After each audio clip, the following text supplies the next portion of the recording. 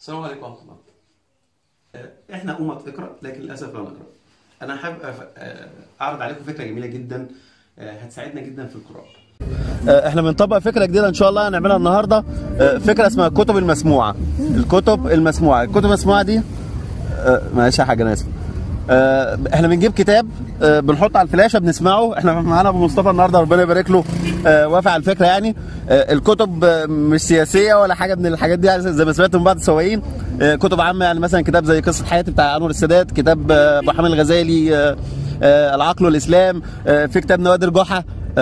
يعني يعني كتب الفكرة الأساسية إن الناس تقرأ مش إن الناس ما فيش حد فينا دلوقتي عنده وقت إن هو يفتح كتاب ويقعد يقرأ. فإحنا بنحاول ن- نطبق الفكرة إن إحنا نسمع الكتاب. فإحنا إن شاء الله مش هنشغل الكتاب دلوقتي. هو في أكتر من كتاب مع أبو مصطفى.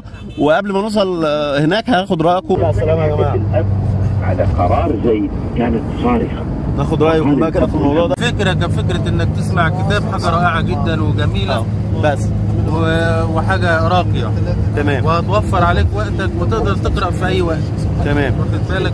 وهتبقى كم المعلومات الشديدة عندك أكتر بكتير من إنك تقرأ. نعم. وراحة لعينيك آه حد يحب يشارك؟ حتى أنا يا جماعة يحب يقول حاجة؟ فكره كويسه ربنا ده طبعا بدل ما نبقى قاعدين في العربية ونسمع.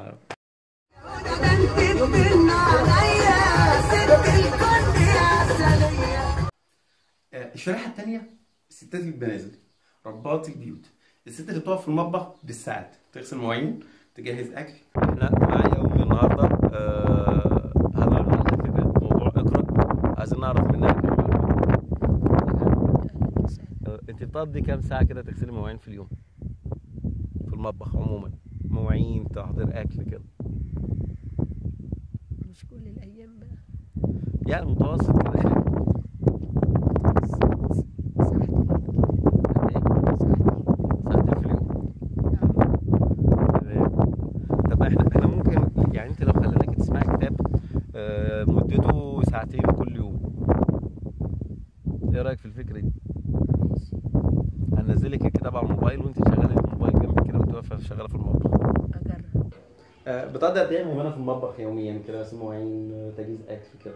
يعني من ساعة لساعتين كده. من ساعة ساعتين. اتخيل كم المعرفة اللي هيتكون عندهم بعد سنة لما يسمعوا كتاب واحد يوميا.